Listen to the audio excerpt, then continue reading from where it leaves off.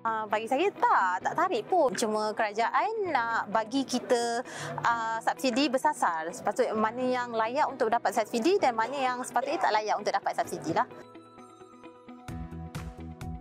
Kami salah satu syarikat yang berdaftar untuk uh, permohonan My Subsidi Diesel 2.0. Uh, Alhamdulillah, kelapan-kelapan kenderaan company tu kami layak untuk mendapat My Subsidi Diesel. Untuk proses permohonan tak perlu lakukan uh, manual uh, uh, permohonan melalui walk-in. Cuma melalui online saja. Dan permohonan tu sangat cepat. Dalam masa 24 jam je dah dapat kelulusan. Uh, cuma kami uh, tersekat dekat bahagian flikat uh, daripada uh, tarikh permohonan hingga sekarang. Tapi tak apa sebab kerajaan ada isytiharkan untuk claim back pada 1 Julai nanti penggunaan di stesen minyak tu macam biasa. Mana yang ada membership dengan syarikat minyak boleh swipe ataupun bayar cash uh, secara biasa.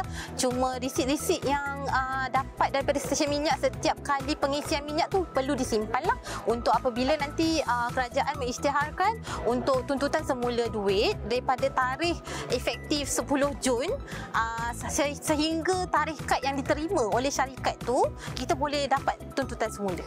Tunggu apa lagi? Jom mohon subsidi diesel sekarang.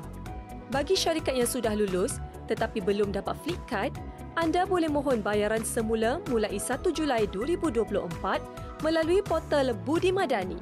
Yang penting, daftar sekarang dan dapatkan kelulusan subsidi diesel sebelum 30 Jun ini.